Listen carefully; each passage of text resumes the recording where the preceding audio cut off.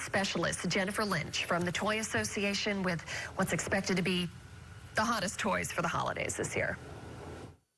Jennifer Lynch is joining us here talking about the top toys for the fall. She is a trend specialist with the Toy Association. Thank you so much for joining us this morning. Glad to be here. We have a selection here of stuff. I have a, I have a, a young boy at home that I know would like some of these Oh, goodies. nice. Start us off. Right now, we've got the um, Chuck E. Cheese mystery egg. So, Chuck E. Cheese, an American icon. Um, what's fun about this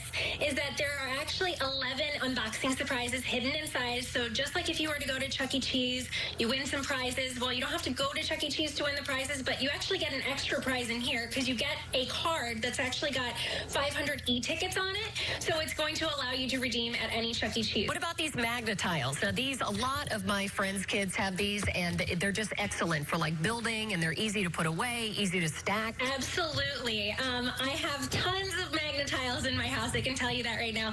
But um, this is great for um, ages three and up. And this one is really unique because this is their new micro mag set. It's their 70 piece deluxe set. And they're traditional tiles. Um, most people are familiar with this size. But these ones are actually 75% smaller than the originals. So you can kind of really elevate that building experience, create those like unique, unique turrets on your castles that you're building, create eyes on your characters that you're building.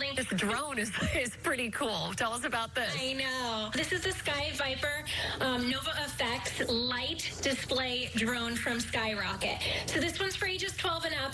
But if you've ever drones being used in replacement of fireworks to kind of create those really cool light effects in the air, you can create it kind of in your own home. So this is for indoor and outdoor use. It's got 24 um, bright LEDs built in to the um, propellers. And as you're flying it, it's also going to dictate um, if you're flying it faster. It's going to create a little bit of a different display. Worth noting, um, Miss Rachel, if you've got a little one, you're familiar with the YouTube channel.